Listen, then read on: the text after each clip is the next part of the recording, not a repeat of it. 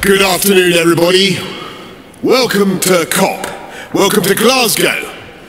And to Scotland, whose most globally famous fictional son is almost certainly a man called James Bond, who generally comes to the climax of his highly lucrative films strapped to a doomsday device, desperately trying to work out which coloured wire to pull to turn it off, while a red digital clock ticks down remorselessly to a detonation that will end human life as we know it. And we are in roughly the same position, my fellow global leaders, as James Bond today. Except that the tragedy is, this is not a movie. And the doomsday device is real. And the clock is ticking to the furious rhythm of hundreds of billions of pistons and turbines and furnaces and engines with which we are pumping carbon into the air faster and faster, record outputs, and quilting the earth in an invisible and suffocating blanket of CO2, raising the temperature of the planet with a speed and an abruptness that is entirely man made. And we know what the scientists tell us, and we have learned not to ignore them. Two degrees more, and we jeopardize the food supply for hundreds of millions of people as crops wither, locusts swarm. Three degrees, and you can add more wildfires and cyclones, twice as many, five times as many droughts, and 36 times as many heat waves. Four degrees, and we say goodbye to whole cities. Miami, Alexandria, Shanghai, all lost beneath the waves. And the longer we fail to act, the worse it gets, and the higher the price when we are eventually forced by catastrophe to act. Because humanity has long since run down the clock on climate change. It's one minute to midnight on that doomsday clock, and we need to act now.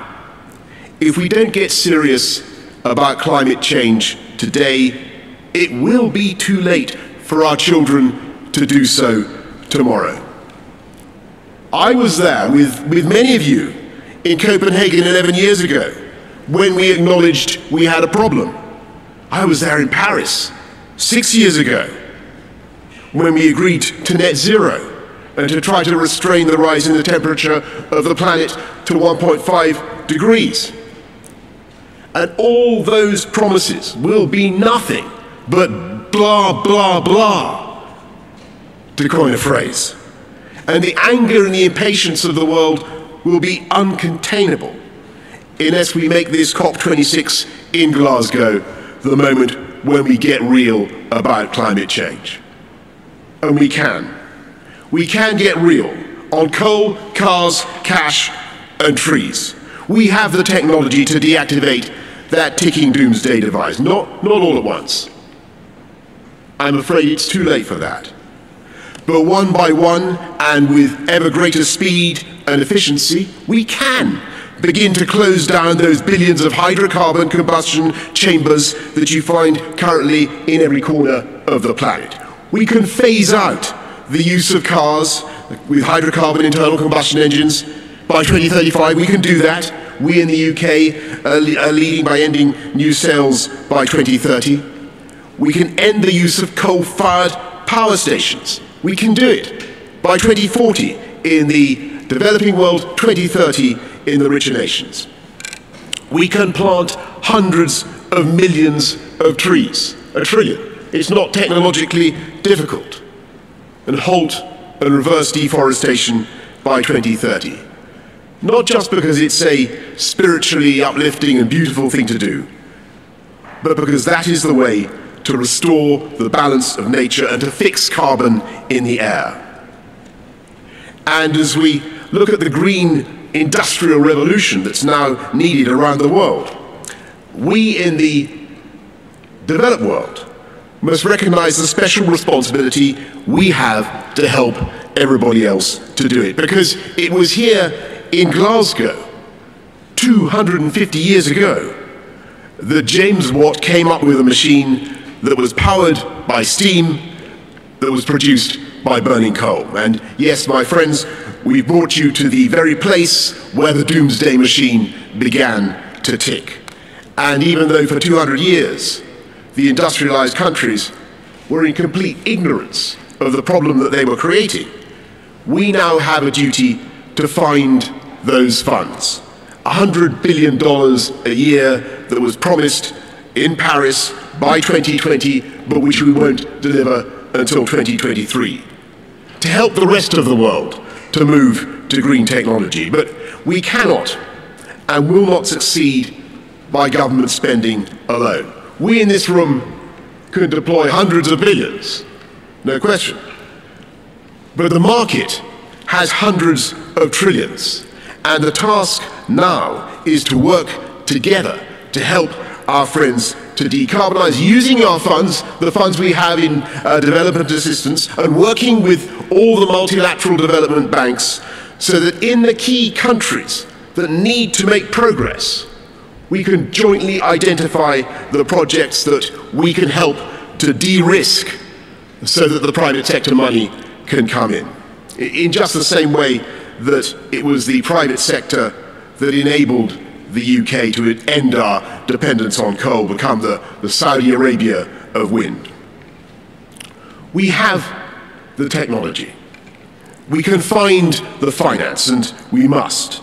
And the question for us all today is whether we have the will. And my fellow leaders, as I look around this room, I don't want to put too, too fine, a, uh, a point on it. But, you know, we all talk about what we're going to do in 2050 or 2060. I don't think it will escape the, the notice of the crowds of, of young people outside, the billions who are watching around the world, half of the population of the world under 30, that the average age of this conclave of, of world leaders, uh, I'm afraid to say, is over 60. I fully intend to be alive in 2060. I will be a mere 94 years old, even if I'm not still in Downing Street. But you know. But the children, the children who will judge us, are, are, are children not yet born, and their children. And we are now coming center stage before a vast and uncountable audience of, of posterity, and we mustn't fluff our lines or miss our cue, because if we fail, they will not forgive us. They will know that Glasgow was the historic turning point when history failed to turn. They will judge us with bitterness and with a resentment that eclipses any of the climate activists of today. And they will be right. COP26 will not and cannot be the end of the story on climate change. Even if this conference ends with binding global commitments for game changing, real world action, two weeks from now, smokestacks will still belch in industrial heartlands. Cows will still belch in their pastures, even if some brilliant Kiwi scientists are teaching them how to be more polite. Cars powered by petrol and diesel, will still choke congested roads in the world's great cities.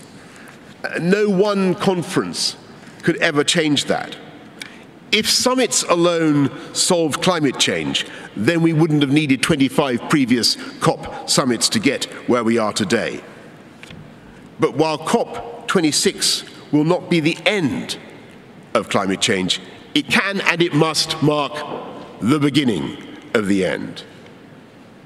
In the years since Paris, the world has slowly and with great effort and pain built a lifeboat for humanity. And now is the time to give that lifeboat a, a mighty shove into the water, like some great liner rolling down the slipways of the Clyde.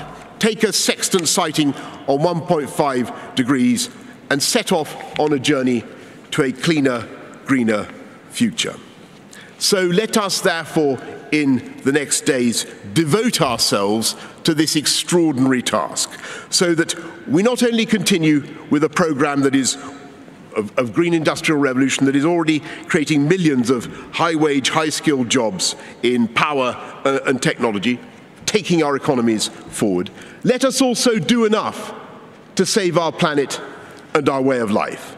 And as we work, let us think about those billions of beady eyes that are watching us around the world, increasingly edgy and disenchanted. And let us think of the billions more of the unborn whose anger will be all the greater if we fail. We cannot let them down. We have the ideas, we have the technology, we have the, the bankers, we have the corporations and the, the NGOs, we have the interpreters, we have the meeting rooms. If all else fails, we have the unbeatable hospitality and refreshment of, of Glasgow. We may not feel much like James Bond, not all of us necessarily look like James Bond, but we have the opportunity and we have the duty to make this summit the moment when humanity finally began, and I stress began, to defuse that bomb. And to make this the moment when we, when we began irrefutably to turn the tide and to begin the fight back against climate change. Yes, it's going to be hard, but yes, we can do it.